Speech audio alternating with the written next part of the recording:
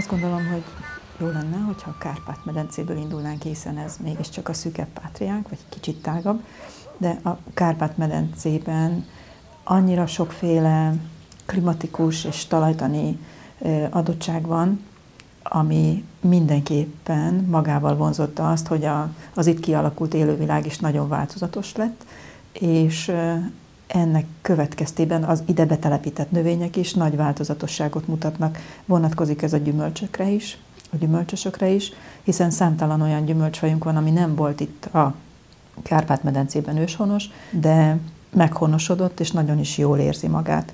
A sokféleséget mutatja az is, hogy egy-egy tájhoz különböző gyümölcsfajták is kötődhetnek, ezek az úgynevezett tájfajták, például itt a gömöri nyakas szilva, ami a gömöri térségben egy specialitás, de ugyanígy mondhatjuk a szomolyai cseresznyét, vagy a csengődi megyet, vagy a nem tudom szilvát, ugye a, a.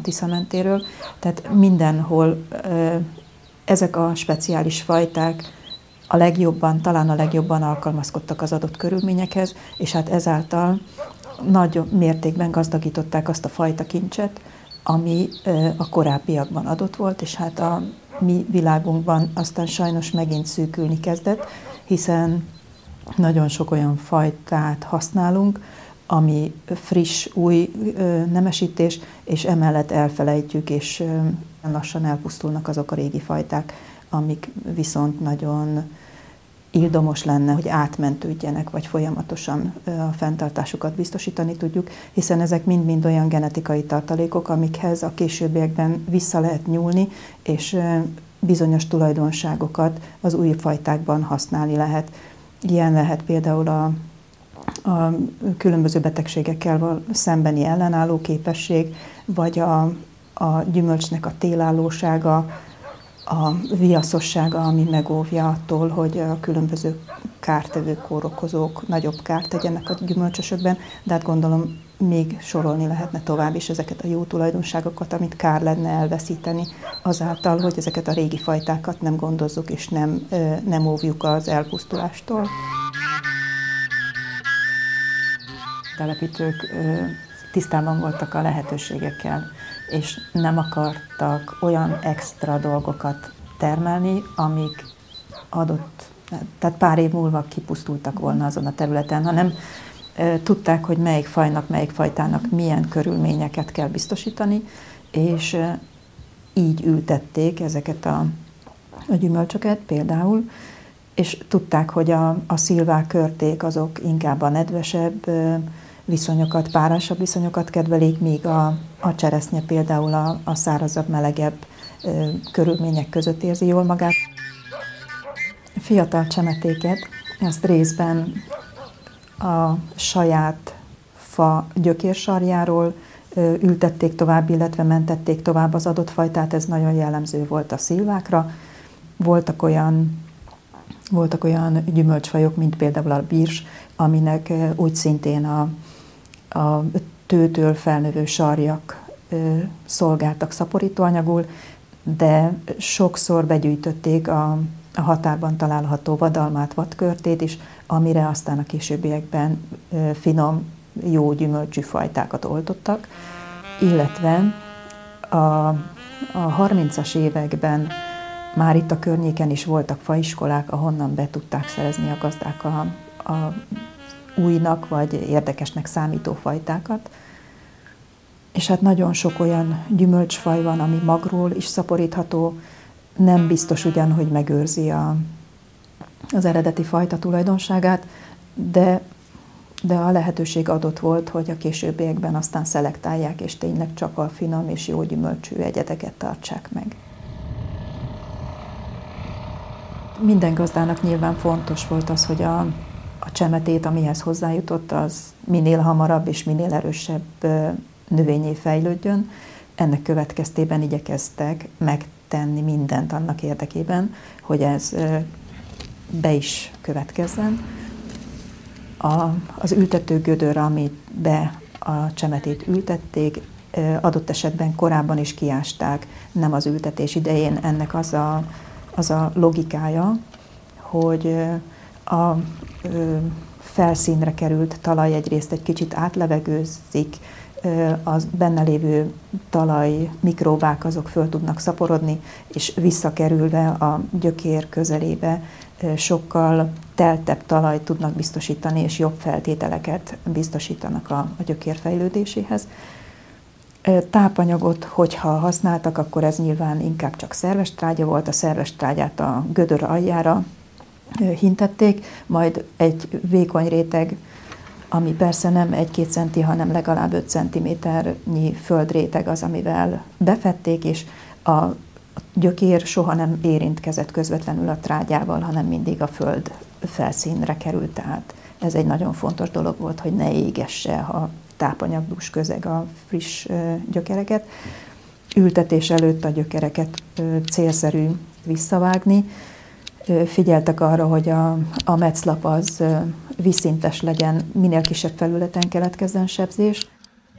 Csemetéket miután betették a szültető gödörbe. Igyekeztek arra figyelni, hogy ne kerüljön mélyebbre, és ne kerüljön magasabbra, mint ahogy az eredeti hely, helyén volt. Tehát ezt akár egy ültető bot segítségével, amit keresztbe fektettek a, az ültető gödrön, könnyen meg lehetett oldani. Másrészt a csemeték mellé karót szúrtak, hogy a fiatal csemetét a szél ne e, tudja rossz irányba nevelni. Másrészt védelmet is jelentett, jelzésértéke is volt, hiszen akkor a, a földműves, vagy a, aki kaszált, ha kaszáló gyümölcsösről volt szó, vagy a szőlőhegyi gyümölcsösről, akkor nyilván jobban oda tudott figyelni, és megóvta ezeket a csemetéket. És ha valaki ősszel ültette el a csemetéjét, nyilván ez a praktikusabb, mert a téli koratavaszi időszakban is már megindul a gyökérfejlődés, és sokkal erőteljesebben tud majd a, a talajban lévő nedvességhez és tápanyaghoz hozzájutni a, a fiatal növényünk. Viszont ha ősszerültettek, akkor a metszést, a hajtásnak a metszését azt elhagyták, ezt a tavaszi munkák között végezték el, viszont ha tavasszal történt az ültetés, akkor a, az ültetéssel együtt a hajtásnak a metszését is elvégezték.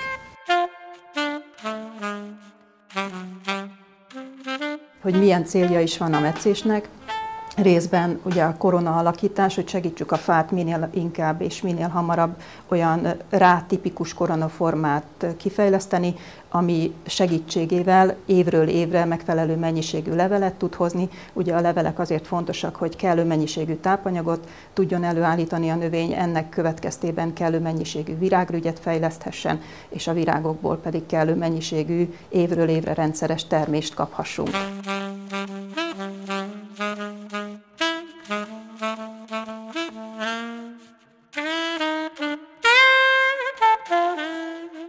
Nagyon fontos az, hogy a, a kártevő kórokozók ellen is valamilyen úton, módon preventíve megvédjük ezeket a, a fákat, és ehhez járul hozzá az, hogy minél inkább benapozott legyen a korona, tehát ne legyen nagyon elsűrűsödött, hiszen hogyha nagyon sűrű a akkor ott sokkal párasabb a klíma, illetve hát mikroklíma, ott nyilván ilyen körülmények között a különböző gomba betegségek sokkal hamarabb elszaporodnak, és hát ennek következtében nyilván a növényvédelem is egy felmerülő kérdés lehet az adott kertben. Ezeket a, a régi szőlőhegyi gyümölcsösöket gyakorlatilag soha az életben nem permetezték, nem használtak mai értelemben vett klasszikus növényvédelmet, ezek a fák mégis megmaradtak, mégis élnek, mégis teremnek. Ami nagyon fontos a metszéssel kapcsolatban, hogy az fa életkorának a meghosszabbításához is hozzájárult, hiszen különösen a fiatal korban nagyon lényeges az, hogy, hogy ne hagyjuk a csemetéket, hogy mondjuk az első vagy a második évben már termést hozzanak, hiszen ezáltal nagyon gyorsan előregítjük a csemetét, és nem tud megfelelő méretűvé nőni, nem tud megfelelő vegetációs felületet képezni, és hát ennek következtében nagyon gyorsan előregszik és elpusztul a, a fa. Egy ilyen hagyományos gyümölcsösben sosem tehát nem látjátok, hogy, hogy szépen sorban nőnének a fák, hanem különösen a szilvák miatt, ugye, amiket így sarjról neveltek, emiatt a, ez a soros ültetés az már egy idő után megbojdul, de ami még másik jellegzetessége, hogy itt egy ilyen hagyományos gyümölcsösben sose egykorúak a fák, hanem mindig vannak fiatalabbak, mindig vannak idősebbek, és ez azért is izgalmas, hiszen például egy odvas fába beleköltözik a harkály, vagy bármi más, vagy éppen az erdei pele, vagy mogyorós pele, ami jó színező eleme is, meg hát, meg hát fontos része is egy ilyen élő közösségnek, mint egy gyümölcsös.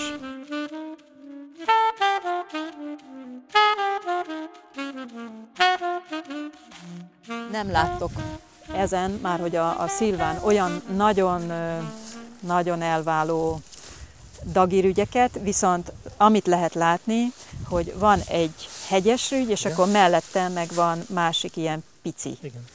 Na most ezek, mivel nem egy rügyben van benne a virág és a, a hajtás, azért vannak külön, a hegyesből lesz a hajtás, és a piciből lesz majd a virág. Úgyhogy ez az, ami elkülöníthető. Aztán itt a, az almafa.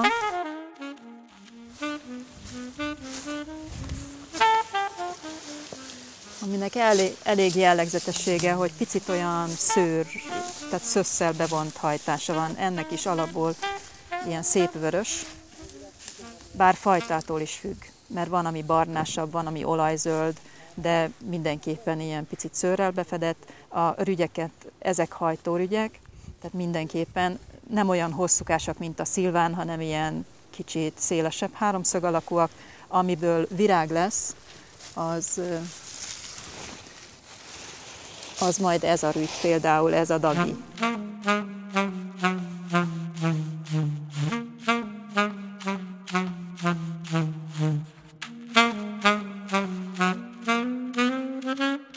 Itt meg egy cseresznyefánál vagyunk.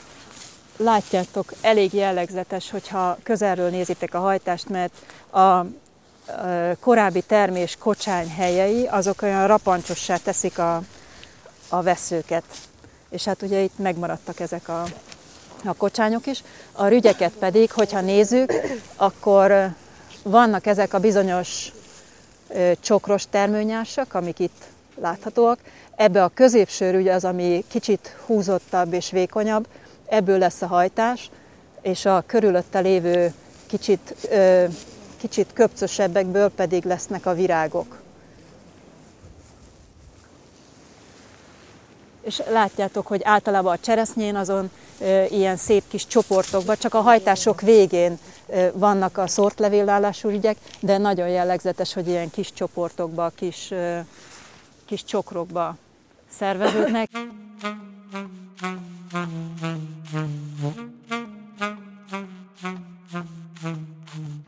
Gyümölcsöt eltárolták télire, különböző helyeken, akár pincében, akár külön verembe ásva, akár a padlásra eltéve, kinek milyen lehetősége volt, illetve voltak olyan területek, ahol a megtermett gyümölcsnek egy részét aszalták, befőttet készítettek belőle, lekvárt készítettek belőle. Nyilván itt ezen a vidéken a szilva lekvár az, ami a leginkább gyakori volt, de vannak olyan vidékek, ahol almából is kiváló és hosszan eltartható lekvárt készítenek. Ezen kívül nyilván egy nagyon jellegzetes felhasználási módja volt a gyümölcsöknek a pálinka készítés, és hát számtalan finom változatát lehetett kóstolni, és hát lehet kóstolni mai napig is.